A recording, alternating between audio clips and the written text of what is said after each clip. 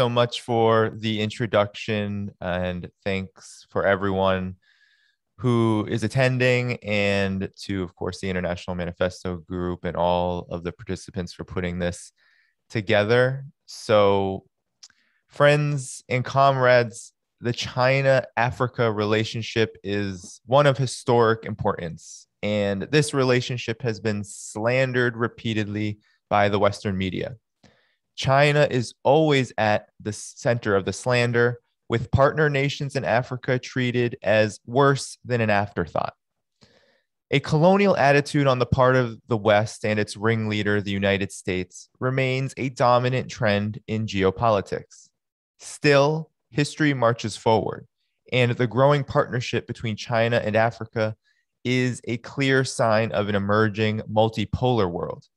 It is for this reason that the West is so concerned about China's relationship with African countries. The Western world is in economic and political turmoil.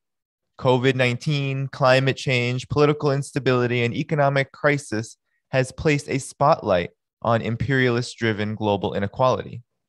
A crisis of legitimacy has ensued, which is most acute in the United States.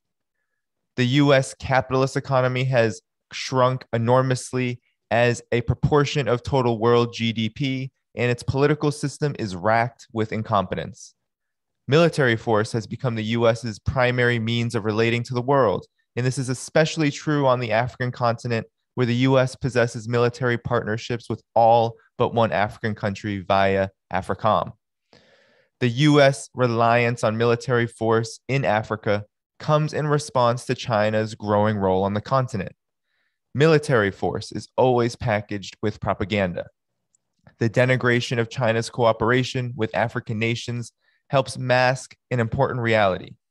US and European corporation and financial lenders have lost the capacity to compete with China in Africa and the rest of the global south for that matter. China's overall trade volume with African nations amounts to roughly $200 billion per year, a number five times larger than the value of US trade with African countries. China's partnership with Africa is a daily reminder that the centuries old colonial order is in a state of decay. To conceal this trend, Western propagandists have spread rumors and falsehoods about the character of China's partnership with Africa. The term, quote unquote, debt trap diplomacy has circulated hundreds, if not thousands, of times in the Western media to describe China's supposedly nefarious use of debt as a means of political coercion. No evidence of the so called debt trap is ever presented, and Western analysts have been caught making up examples out of whole cloth. The most recent lie spread by the West was that China had seized a Ugandan airport due to non payment of the loans required to develop the ongoing project. Before this, Western media claimed that China was threatening to seize a port in Djibouti for the same reason. None of this has come to pass. The reality of the China Africa relationship is actually much different than the steady dose of fear that we are fed by the Western imperial powers. Flexibility and solidarity are hallmarks of China's bilateral ties with African countries. In 2018, for example, China allowed Ethiopia to defer interest payments on the construction of a railway connecting the country to Djibouti. The term of the loan was extended by 15 years. China possesses similar debt relief agreements with 19 other African nations. It would be mistaken, however, to view China's cooperation with Africa as simply a matter of dollars and cents. Infrastructure development and solidarity against COVID 19 form the foundation of China Africa cooperation. China's Huawei Corporation provides 70% of Africa's 4G technology and is the first to offer 5G to African countries. China has built more than 13,000 kilometers of roads and rails, as well as more than 80 large scale power facilities, with dozens of projects already underway to assist Africa's transition to renewable energy, known as the continent's Great Green Wall. China has provided close to 200 million COVID 19 vaccines to African nations to date and has pledged another 1 billion at the Forum on China Africa Cooperation, FOCAC, held late last month. The West, led by the United States, has dismissed these accomplishments by defaming China as the equivalent of Western colonial powers of yore, and Africa as having no destiny or agency to speak of. White supremacy continues to dominate the geopolitics of American empire and its Western allies. Dehumanization and slander are all that the world's imperialist hegemons have left at their disposal to conceal the benefits of a multipolar world.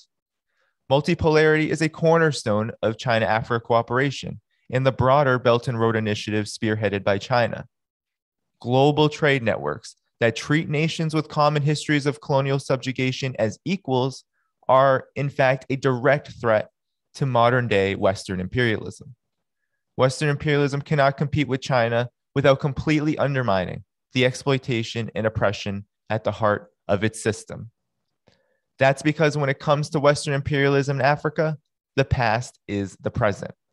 Western countries carved up Africa in the 19th century only to punish the continent's just struggle for independence with coups, military interventions, and neoliberal, neoliberal, neocolonial economic arrangements.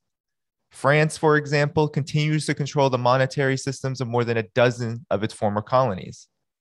Belgium punished Congo's independence movement, led by the assassinated Patrice Lumumba, through the imposition of an enormous debt to be repaid to the former colonizer. Multinational corporations residing in the West have played a leading role in ensuring that more than $40 billion annually is extracted from the continent each year. China's model of development stands in stark contrast to the West's neocolonial arrangements. Instead of extraction, China offers infrastructure. In the uh, instead of exploitation, China offers cooperation. Instead of military expansionism, China offers solidarity in the fight against poverty and climate change. The West distorts the China Africa relationship because its model of imperialist domination has become a ball and chain on human progress and development itself. There is a saying in the West that, quote, talk is cheap. The West's distortion of the China Africa relationship is indeed a cheap attempt to justify its ongoing imperialist hegemony that comes at an enormous cost to humanity. The longer that the West is able to slander the China Africa relationship without a significant domestic challenge, the more difficult the achievement of the urgent tasks confronting humanity becomes. These tasks are clear to defend self determination, the sovereign right of development, to continue the long march toward peace, and to develop bonds of solidarity capable of liberating humanity from all vestiges of colonialism. It is therefore in the interests of peace loving people and nations everywhere to oppose the West's distortions of the China Africa relationship and to do so without hesitation. Thank you, everyone, and thanks for inviting me to this uh, great panel.